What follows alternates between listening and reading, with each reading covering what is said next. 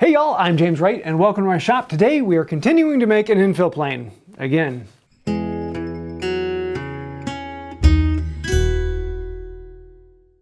Now it's time to start making the handle, and there really are no good patterns out there for making the handle of an infill plane because there are so many different styles and shapes and types and handle construction and connections. Uh, so I just decided to take a handle that I found rather comfortable and sketch it out, and then add on what I need. And then also I need a 45 degree bed for the iron to sit on, and then I can lop that off. To actually work on the handle, I've got this beautiful piece of cherry that will actually uh, be the right amount on there. It's a little thicker than it needs to be, so I'm going to plane one side down, and then use that as my reference face, and then mark off to the other side, and then plane the other side down to match it. Um, I like my, uh, my handles to be just a little bit fatter than 7 eighths of an inch thick.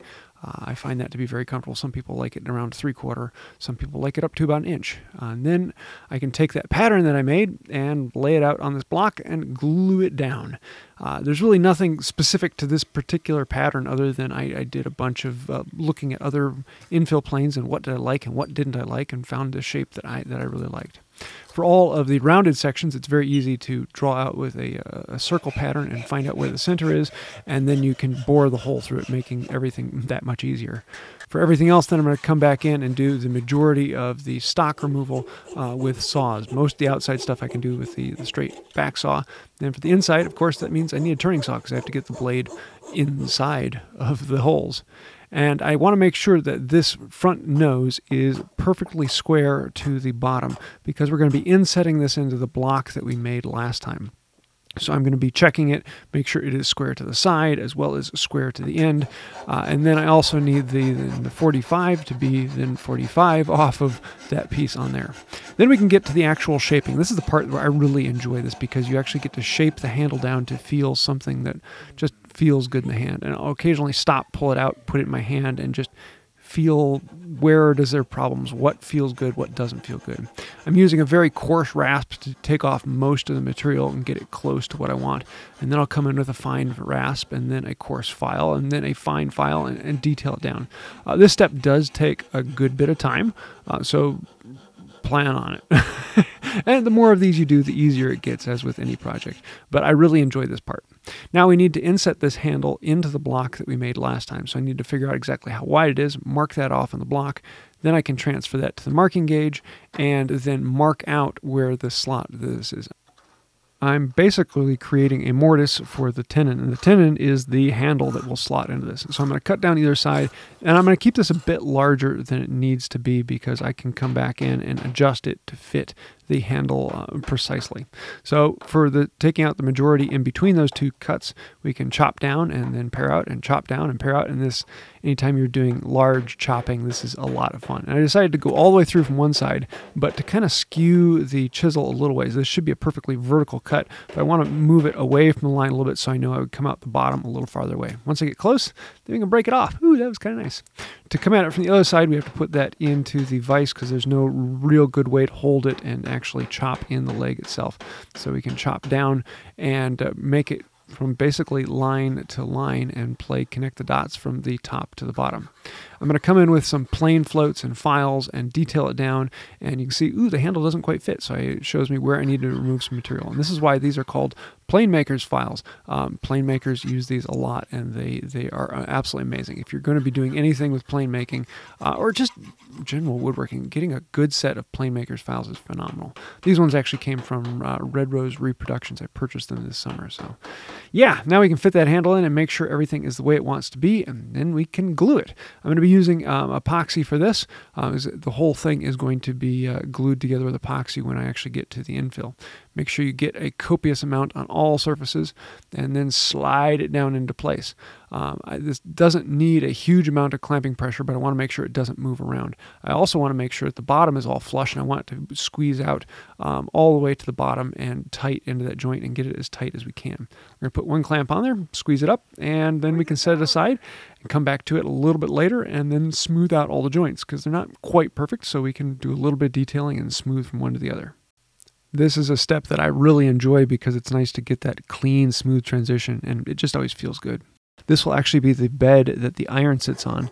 And then I also want to true up the bottom sole that will be glued down into the, the brass body. Also want to transition between these two pieces inside. And for the shape of this and how it's actually going to come together, there are lots of different shapes and traditions, and each one has a slightly different aesthetic to it. On mine, I want to do some more chamfers on it, and I want to make it look a little bit different, but I'm going to pull from a couple different traditions. But uh, a lot of these, I'm just going to be lopping off corners and, and chamfering it.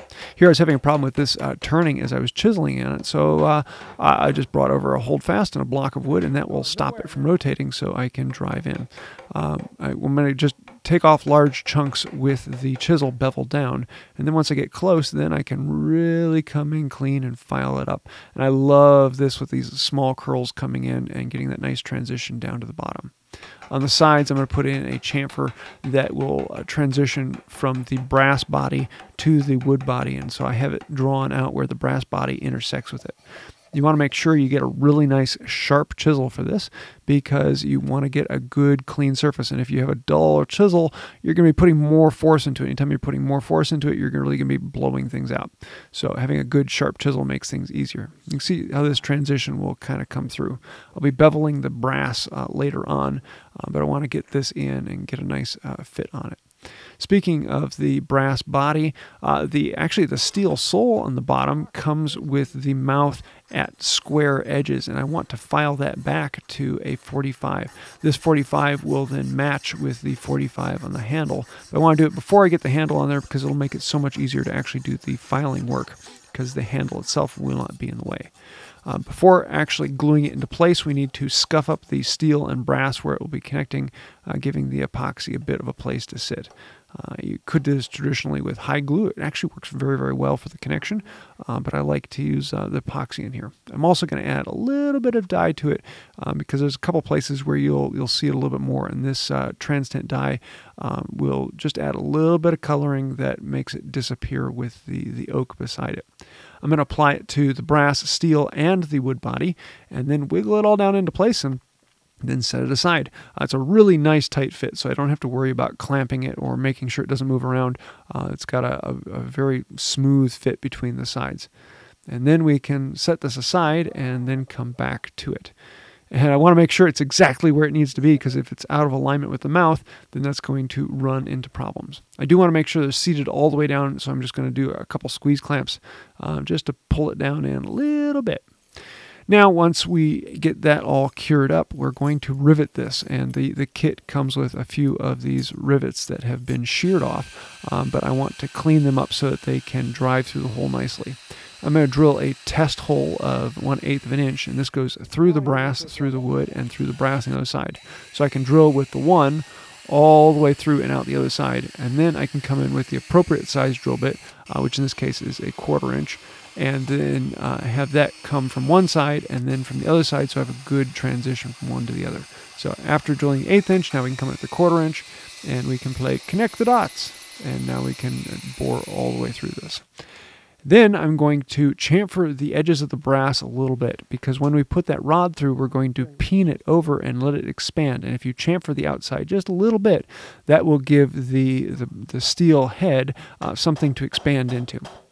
Then we can drive these rods down through all the way and down out the other side. And uh, they are a bit of a tight fit. Um, I, I, left them intentionally uh, just a hair oversize of the hole. But we can pound them down through, cut off any excess, and I'm going to leave the excess sticking out just a little bit so I can come back and, and peen it over. And this is why you have a ball peen hammer, uh, because it will actually mushroom the head and squish it into that chamfer that we just cut. For the, the body, I want to make sure I get a good clean transition. There was some epoxy sticking out um, from the, the mouth into the, the wooden body and then I can come through and actually file it. And I want to give a really clean transition because uh, this will be where the iron is sitting. And then I'll also have to file the front of the mouth, and I'm going to file the front of the mouth forward uh, until the iron sticks in. I'm actually going to leave the mouth closed for right now. That'll be one of the last things I do of actually filing the mouth to make it uh, uh, for the, the iron to stick out just a little bit. And here you can get an idea of how this will all fit in here. Uh, next, we'll need to attach the lever cap. Um, I'm going to wait on attaching lever cap until I get most of the final details on this done, uh, but we're getting really close. I only have another mm, 30, 40 hours worth of work on it, so stay tuned because I'm having a lot of fun in here. so there you have it. I'm I'm starting to get excited if you can't tell, and this is starting to look like something. So yes, I'm having a lot of fun here. Uh, there's a lot more to do with it. There's a reason that most new infill planes are priced in the thousands of dollars because there's a lot of work that has to go into this to fit it. If you want something to be sharp and clean, it's going to take a lot of time.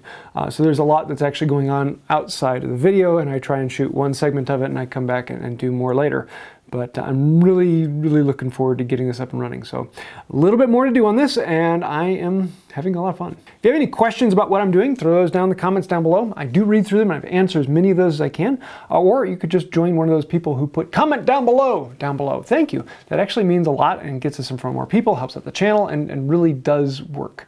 So thank you for that. But if you really want to help out the channel and be absolutely amazing, then check out these names over here. Those are some of the patrons on Patreon, because without patrons or members, uh, people who actually support this channel, Thank you. Without you guys, we wouldn't be here. You are the reason we get to keep making videos like this. And if you like it and would like to help us out, think about becoming a patron or a member or clicking the thank you button. That means a lot.